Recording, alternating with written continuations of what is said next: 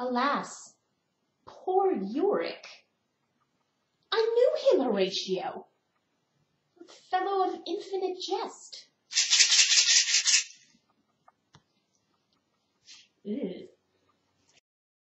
Friends, Romans, countrymen, lend me your ears.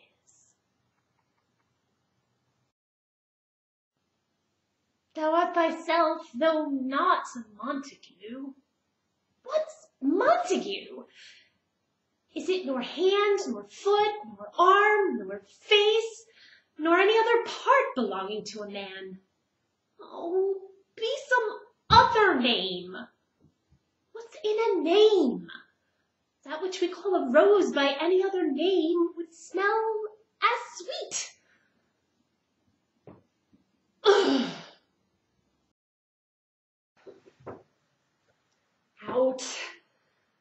Out, damn spot, out, I say.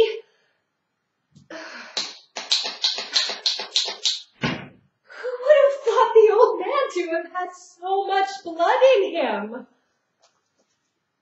What? Will these hands never be clean? Oh.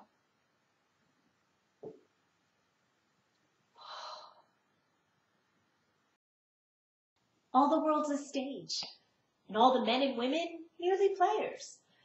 At their exits and their entrances, and one man in his time plays many parts.